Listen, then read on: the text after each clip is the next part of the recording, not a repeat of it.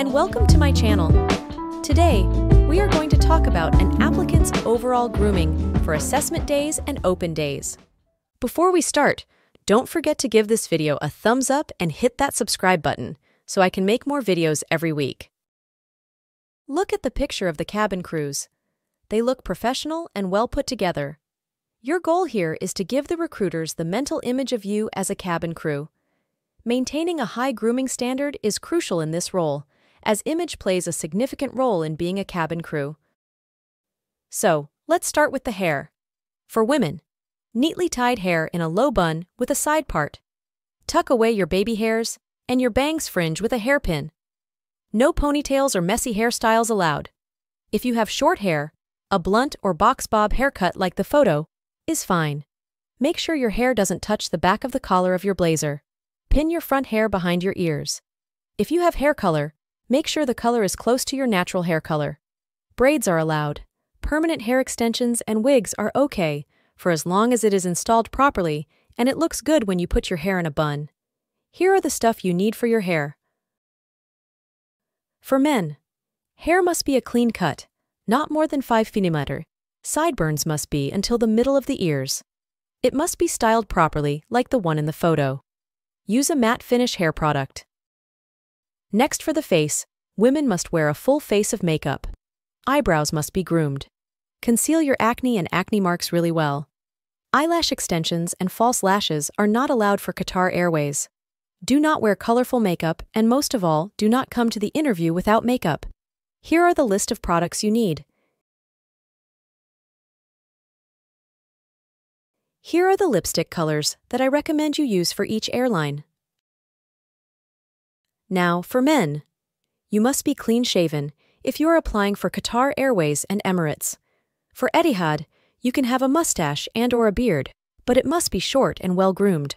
Moisturize your face and lips. Men are not allowed to use makeup, so don't try to conceal any marks with makeup. Here are the list of products you need. For men and women, if I am being honest, it would better to use a clear contact lens. Colored contact lenses are not allowed. If you prefer to wear glasses, opt for a plain single-colored glasses, preferably black or brown. No prints or colorful designs. Not too big or too small, no rhinestones, no tint on the glass. If you are colorblind or have a lazy eye, you will get rejected. So, don't waste your time. Get it fixed and then start applying. Now let's talk about teeth. You must have a presentable smile.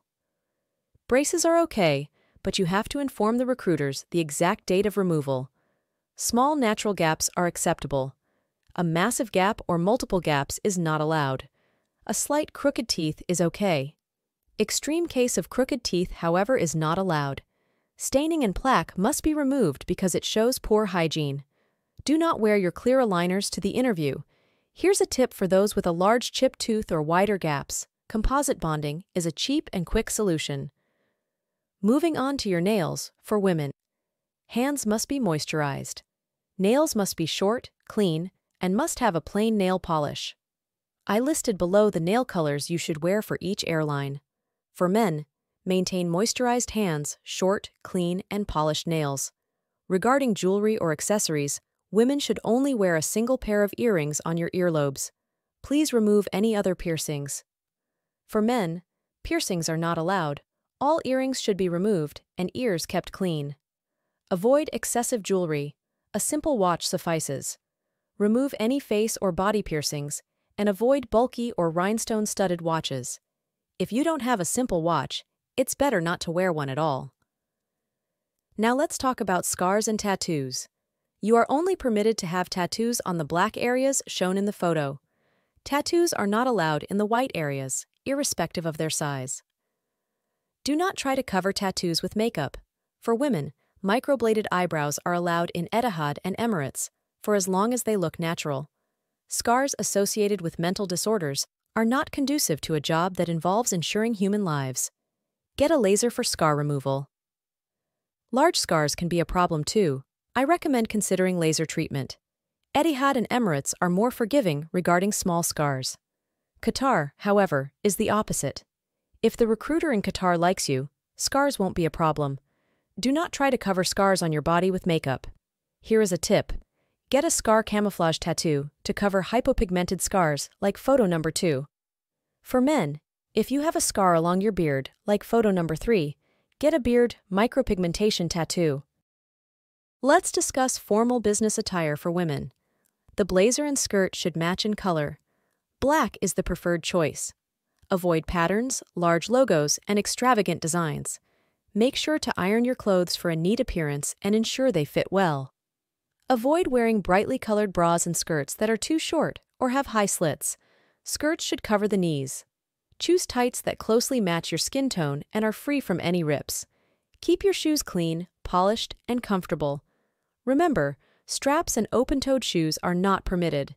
For men, the blazer, socks, and trousers should match in color. Black is the preferred choice, although you may also opt for dark blue, dark gray, or dark brown. Avoid patterns, large logos, and extravagant designs. Ensure your clothes are properly ironed and have a proper fit, neither too tight nor too loose. Tie your necktie in a Windsor-style knot. Choose a necktie with a plain or minimal design in classic colors such as black, navy, or burgundy. Coordinate your belt and shoes to be the same color. Keep your socks and shoes clean, polished, and comfortable. Do not use a backpack. Opt for a briefcase or laptop bag instead. That's the end of the video. I hope you find this video helpful and educational. If you like this video, don't forget to give it a thumbs up and subscribe to my channel. See you on the next one.